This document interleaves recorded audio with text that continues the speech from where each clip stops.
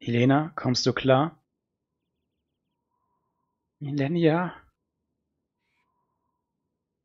Ryudo, warum hat Millennia mich gerettet? Ich verstehe ja, warum sie dich gerettet hat. Aber warum mich?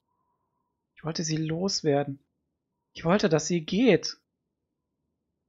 Spielt keine Rolle mehr. Ich habe nur an mich gedacht, an meine Sicherheit. Warum sollte sie mich retten?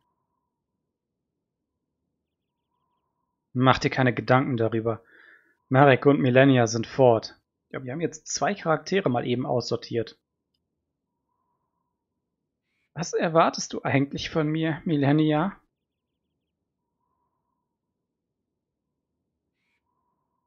Marek ist tot.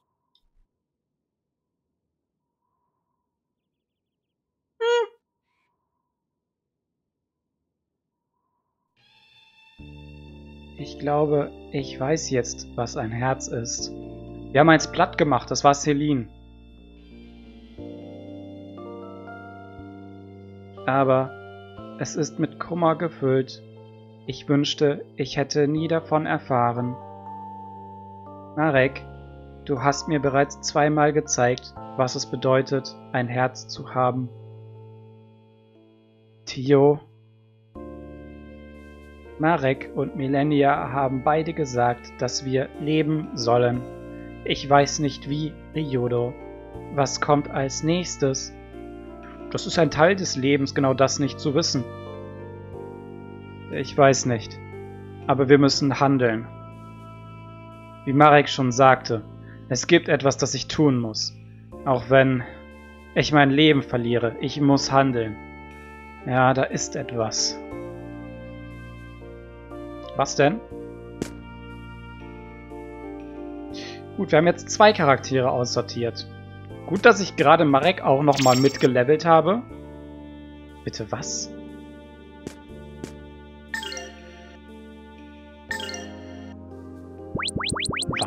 Das gerade? Miss Sanga?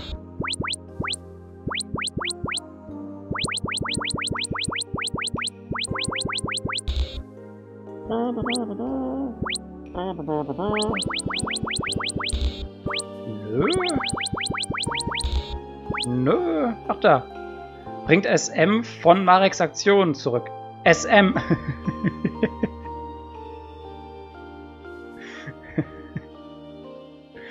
ähm, das ganze Spiel über hießen die Dinger SC. Gut, wir bringen SM für Marek zurück. Das dürften ja ein paar sein. Alles klar, das sind ein paar. Ähm, dramaturgisch auf jeden Fall sehr gut gemacht. Hat mir gefallen. Ach ja, und das Schwert ist jetzt natürlich kaputt. Das, das Granner-Schwert. Was ist das?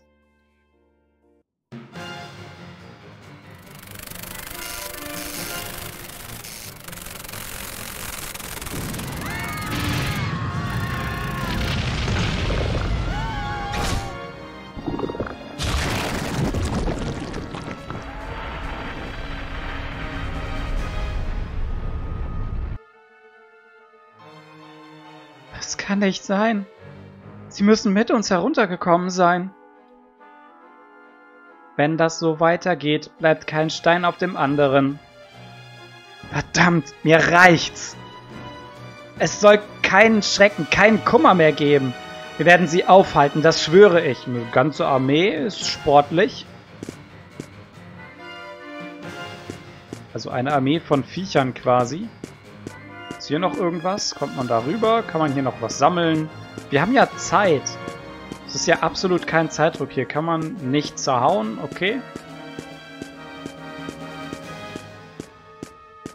Nichts. Leere Fläche. Was ist denn das? Nichts. Gut. Ich dachte, man könnte da vielleicht rein.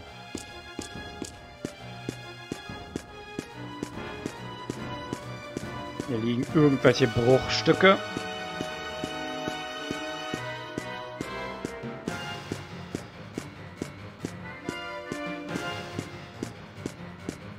Sind das Teile vom Schwert, die hier so verstreut liegen? Na gut, gehen wir weiter.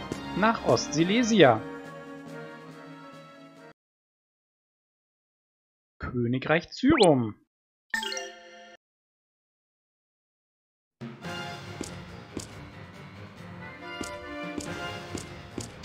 Erstmal ins Nein, wir gehen erstmal shoppen natürlich.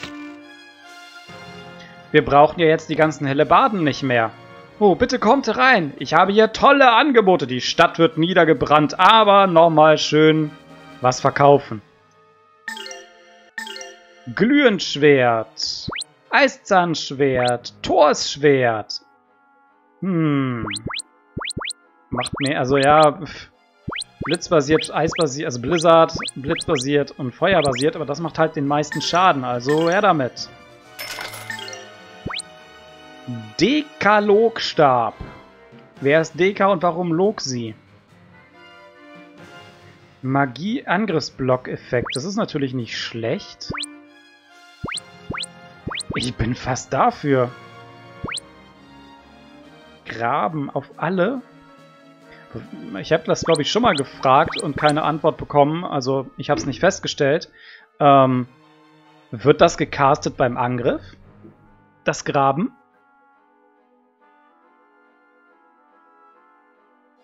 Keine Ahnung. Ich bleib, glaube ich, bei dem. Ich finde das mit dem Magie- und Aktionsblock-Effekt eigentlich ganz gut, auch wenn wir natürlich kaum mal irgendwo was angreifen. Und die Beweglichkeit geht hoch. Schwertbrech. Das ist ein Dolch, oder? Kommt Rowan nochmal wieder? Nehmen wir mal mit. Der kommt sicherlich nochmal wieder. Meine Stimme wird sich freuen. 122 Wind basiert und Dämonenschuriken. Äh, ja gut. Mehr Angriff, mehr Aktion, her damit. So, das dazu. Rüstung. Moment, wir hatten noch eine Engelsruhe. Meine Waffen werden dir gute Dienste leisten. Viel Glück! Wir hatten eine neue Rüstung gefunden. War eine Robe. Da. Senkt die Beweglichkeit, stellt etwas HP im Kampf her. Und heilige Kleidung. Äh, na, ich weiß ja nicht. Resistenzkleid Engelsrobe ist besser, aber das Resistenzkleid ist halt auch echt nicht schlecht wegen Resistenzen halt. Ja, wir lassen das, glaube ich, erstmal so und gucken, was der sonst so anzubieten hat. Ähm, kaufen Rüstung. Aura-Rüstung. Erhöht Kraft von Aktionen. Oha. Ja, zieh die mal an. Charisma-Helm. Beste Ware aus Zyrum. Senkt aber irgendwas. Mag Stöckelschuhe. Ich mag auch Stöckelschuhe. Was? Okay, die sind auf jeden Fall besser als das, was Tio anhat. Aktion wird gesenkt. Ja, das finde ich aber nicht so nett. Dabei auch. Verteidigung und Aktion hoch. Angriff runter. Ja, ziehen wir mal an. Schmuck. Herkulesgürtel. Shotgun-Armreif. Temporing. Aktion ist natürlich gut, aber die haben sowieso sehr spezielle Schmuckstücke an, glaube ich. Ah, brauchen wir nicht regional, brauchen wir auch nicht. Haben wir noch nie gebraucht, haben wir zwar zwischendurch ein paar Mal gekauft, aber nie benutzt. Ja, weg. Weg. Weg. Weg. Ich glaube, sie hat was... Ja, 45. Komm, weg. Weg. Weg. Die braucht man natürlich gar nicht mehr. Der ist ja weg. Das behalten wir. Rüstung. Weg. Weg. Ja, Resistenzdingen haben die an. Das lassen wir mal.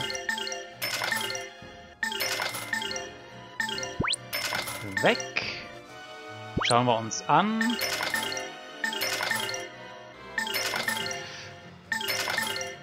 Warum verkaufe ich das eigentlich? Ich brauche das Geld überhaupt nicht. Mach Stiefel. Göttliche Stöckelschuhe.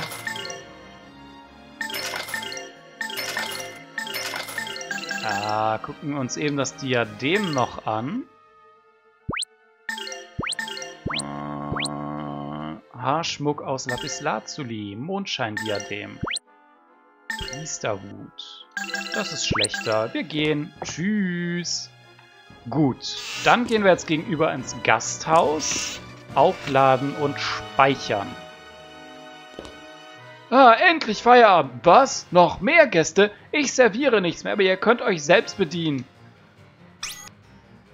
Es ist völlig sinnlos, dass wir überleben bis zum Ende der Welt.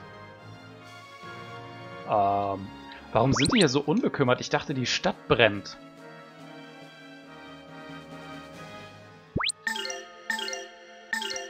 Gasthaus von Zyrum. Raus hier. Können wir Gasthaus Gemischtwaren laden? Okay. Burg von Zyrum. Wahrscheinlich dahin. Natürlich reden. Ist es das, was uns nach unserer Flucht aus St. Heim bevorsteht? Ach ja, die sind ja vom, vom Papst hierher geflüchtet. Ja, ist ja alles wunderbar aufgegangen. Wieso ist unser Herr Granas so furchtbar grausam zu uns? Weil er tot ist. Wieso nur? Weil er tot ist. Den gibt's gar nicht.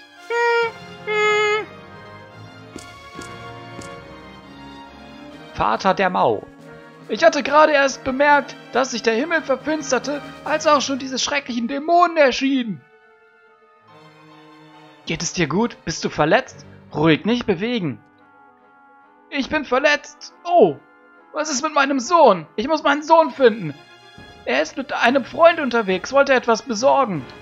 Okay. Diese arme Frau, sie... Oh, es tut mir leid. Das ist alles meine Schuld. Es tut mir so unendlich leid. Elena, hör auf damit. Dies ist nicht deine Schuld. Reiß dich zusammen. Aber, aber es ist meine Schuld. All diese Leute. Es ist meine Schuld, Ryudo. Das kannst du dir schon einreden, aber du bist halt manipuliert worden.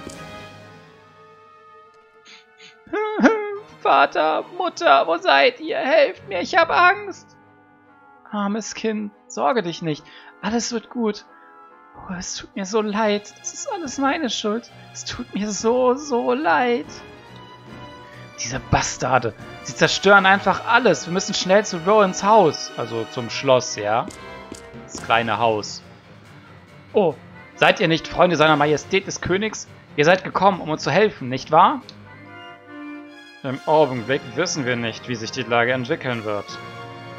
Sky hat recht. Wir wissen nicht, was als nächstes geschieht. Bleibt wachsam. Ist das hier so eine Art Albtraum? Ich sah, wie sich der Himmel verfinsterte und schreckliche Monster in die Stadt flogen. Okay, beruhig dich. Wo sind die Monster hin? Über die Brücke, zur Burg. Judo, wir müssen uns beeilen, bevor, die ganze, bevor sie die ganze Stadt zerstören.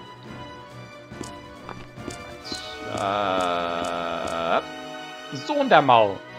Ich war mit meinem Freund unterwegs, um etwas zu besorgen, als plötzlich diese Dämonen vom Himmel herabstießen. Mein Freund ist verschwunden. Das ist meine Schuld, meine Schuld.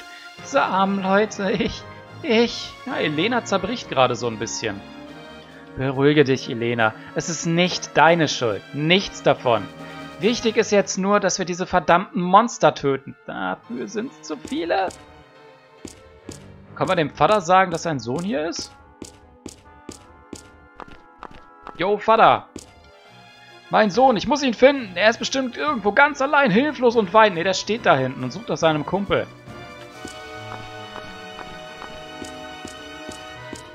Na gut.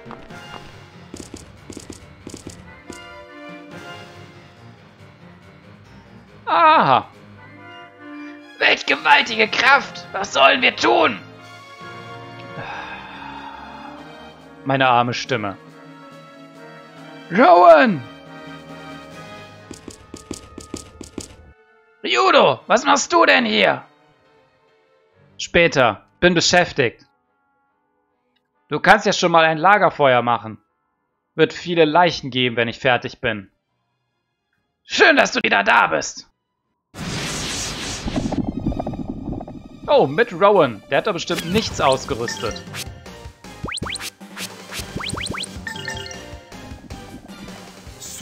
Enemies, you shall be defeated! Take that! Sky Dragon Slash! Immerhin Hälfte. Hast du in der Zwischenzeit was Neues gelernt? Wahrer Drachenaufst. Also, True wahrscheinlich. True Dragon Rise. Sieht das beeindruckender aus als vorher? Ich fand das ja vorher relativ cool. Und du hast auch was Neues. Okay. Here goes.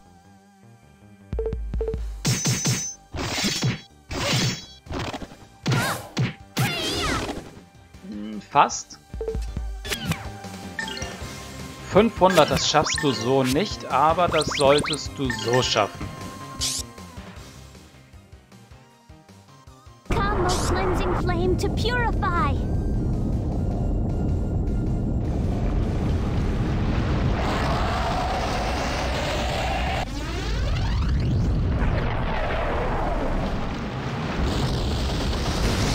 Ja. Ist okay. Ultimate secret.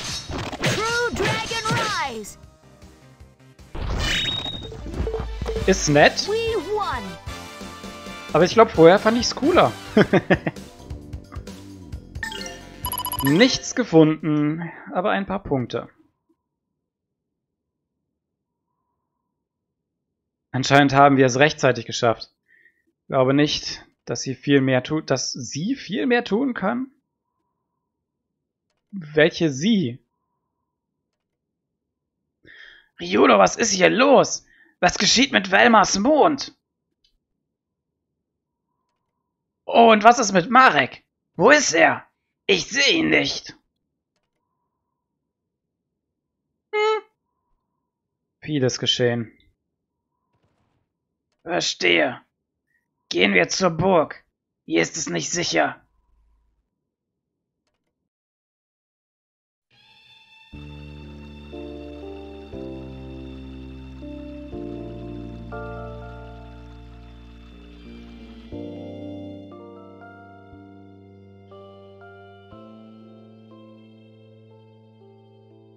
Ryan vergeudet keine Zeit.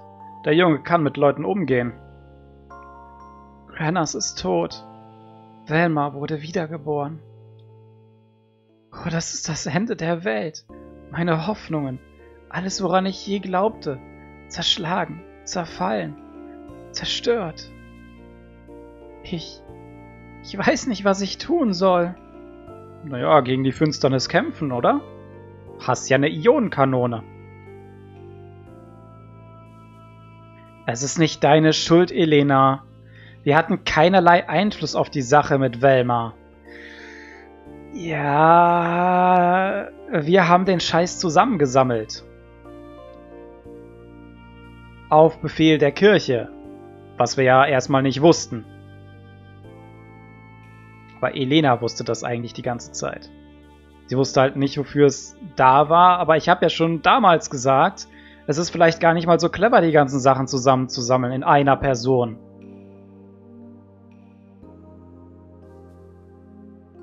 Nein, es ist sehr wohl meine Schuld. Ich war eine Dienerin der Finsternis und ich habe auf ihr Geheiß gehandelt, aber ja mit guten Absichten eigentlich. Also sie selbst hat ja weiterhin keinerlei Finsternis in sich. Ich erinnere mich an meinen Monolog von damals. Sie wollte Gutes. Gut, der kleine Bruder von gut gemeint, von gut ist gut gemeint. Aber sie wollte Gutes. Sera hat dich ausgenutzt. Er war es, der das alles geplant hat. Du konntest es nicht wissen. Ja, sehe ich auch so. Ach, Kranos, bitte vergib mir. Er ist doch tot, hast du gerade selber gesagt. Wach endlich auf! Du bist niemandes Sklave, nicht Granas, nicht Velmas. Weißt du noch, was du gesagt hast, als wir beim Volk der Finsternis waren? Du hast gesagt, du wirst all, du willst allen helfen. War das eine Lüge? Was? Hilfst du nur Leuten, die Granas verehren? Das glaube ich nicht. Ich glaube, du hast gemeint, was du gesagt hast. Wir sind alle Menschen, unabhängig von unserer Herkunft und unserem Glauben. Jo. Wem diene ich? Ich diene denen, die mich brauchen. Ich diene denen, die ich liebe. Allen. Verflucht, es hat dich sogar mitgenommen, als Millennia gestorben ist. Das ist Beweis genug.